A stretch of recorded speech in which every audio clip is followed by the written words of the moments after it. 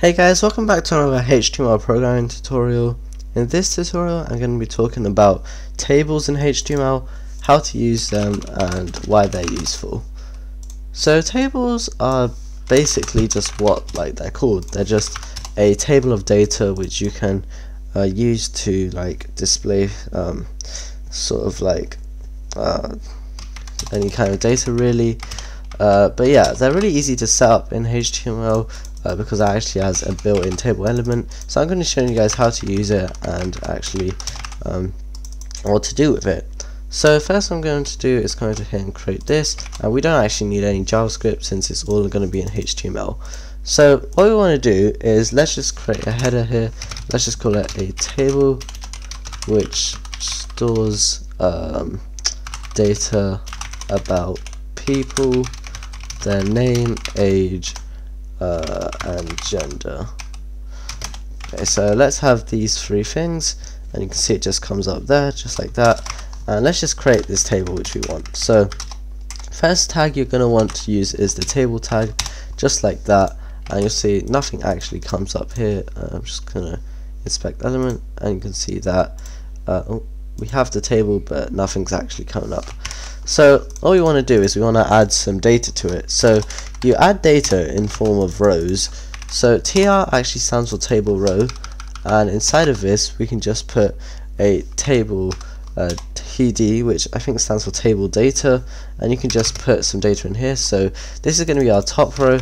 So let's just call this our columns, and oh no, let's just call this column headers because columns could be a bit confusing.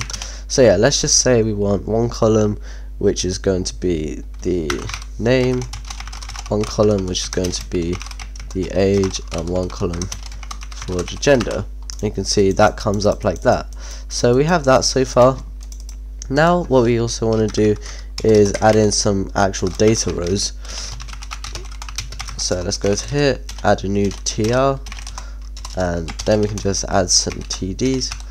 So let's have one for Aryaa, uh, and let's have a hundred, and let's just have male.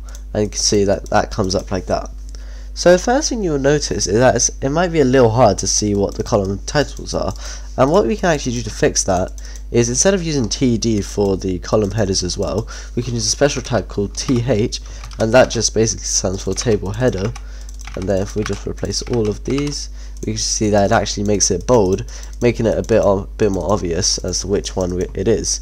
And the next thing you'll notice is that we actually need to fill out the table using individual table rows. So even if we don't have data for, let's say, the age, uh, let's just make a new row here. Let's just call this person 2. And if we don't have data for the age, uh, we can't just leave it out because then male would go into the age category. So what we have to do is we actually have to just leave the TD there but just don't put anything in. So yeah that's uh, another thing you can do. And then finally uh, another thing you might realize is that it looks a bit bad but obviously since this is just a table element we can just go into the CSS and actually edit this ourselves uh, I mean a table isn't actually that customizable which is why I like to build out custom tables uh, just using grids and flexboxes uh, it's a lot more customizable and it's a lot easier to work with than tables but you can still do some customization. So I know you can have things like borders uh, I'm just going to set this solid black. Uh, you can see it creates a border on the outside and I know there's a way of creating borders on the inside but I can't actually remember it. I think it's like uh, border inner or something or inline uh, let's see if this is the one uh, no, that's probably just on the inside.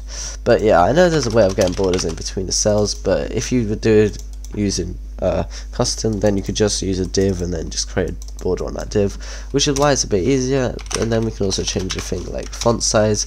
Let's say we want it larger, and we can do that. Or if we want it even larger, we can set an actual value like uh, let's just set 60 pixels, and there it is.